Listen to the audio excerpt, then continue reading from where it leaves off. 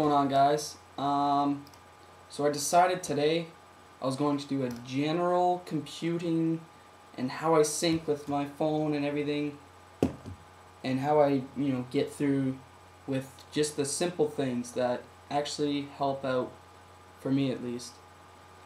Starting with the iPhone, it's uh I got my in the info section while your phone is plugged in, I got the contacts synced, I got the iCal synced, the notes synced, and that is it. Um, so here's the mail application.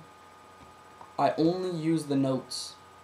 I don't use anything else because, well, I'll explain with how I use my email later in the video.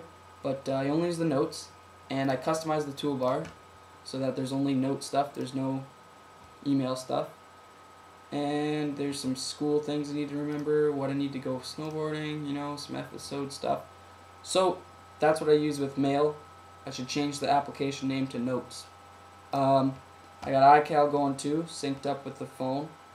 Some stuff I need to remember. Today I need to go to my buddy's house about 15 minutes. Um, iTunes, always listening to music. I got some Bose speakers. They work great. Um, so that's actually usually down there. And right here, I run Safari.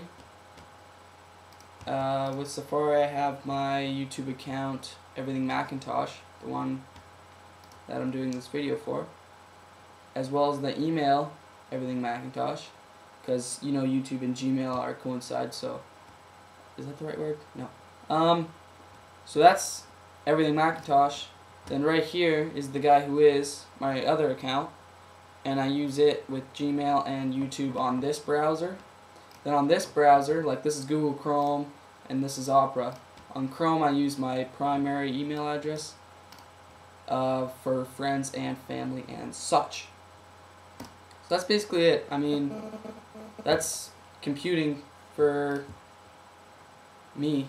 Uh, other than that, I got, well, there's not much else. Alright, well, see you later. If you have any questions on anything, just give me a shout and I'll be uh, happy to answer them.